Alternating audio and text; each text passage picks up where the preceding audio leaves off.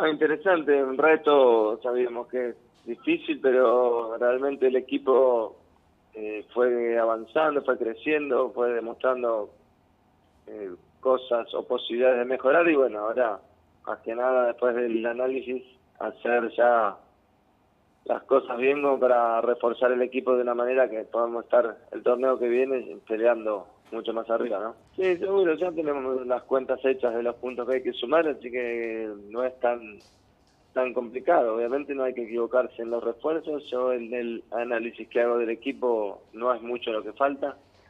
Eh, hemos tenido una constante que es dominar bastante los partidos y, ser poco efectivos, entonces hay que trabajar sobre eso y, reforzar sobre esa parte para, para poder ser más contundentes y, sacar más puntos. Después, si hacemos buenos refuerzos, seguramente vamos a estar mucho mejor. Sí, bueno, ayer nos reunimos con los jugadores, hablé con todos, le explicaba que, a veces por cuestión de características uno tiene que, que prescindir de algunos para buscar otros y realmente todos han han cumplido, han trabajado, pero bueno, algunos quedan al margen.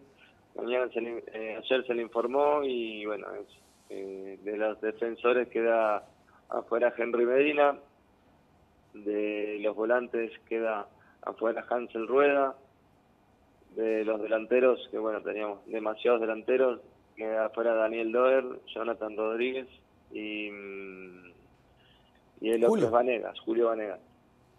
Freddy Boy también, ¿verdad? Eh, lo del Freddy Boy está en análisis, voy a esperar un par de días, estamos viendo a ver si encuentra un jugador con otras características, si no podría quedarse, lo tenía que terminar en un par de días, Freddy Boy es un excelente jugador en la posición que, cumple, es muy profesional, muy trabajador, eh, entonces estamos viendo a ver la posibilidad de buscar con otras características un jugador en esa zona y si no, obviamente podemos contar con él, vamos a ver.